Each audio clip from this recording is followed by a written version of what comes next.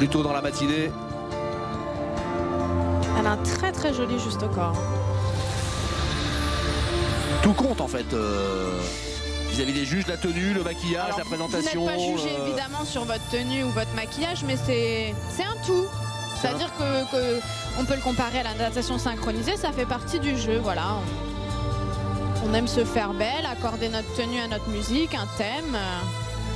Euh, Comme le patin aussi. D'ailleurs, on peut pas imaginer une candidate qui arrive en jogging. euh, pour, Pas du euh, tout. Pas du tout, Là pour, là, pour Même le coup, jogging se ferait peut-être pénaliser. Même un jogging à paillettes, non, ça passerait pas. Non, non, là pour le coup, c'est réglementé quand même.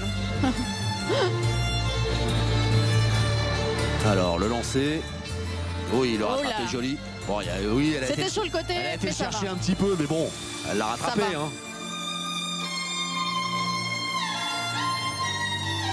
Non, c'est bien, elle s'est pas laissée déconcentrer par la chute de massue. euh. Oups, petit déséquilibre.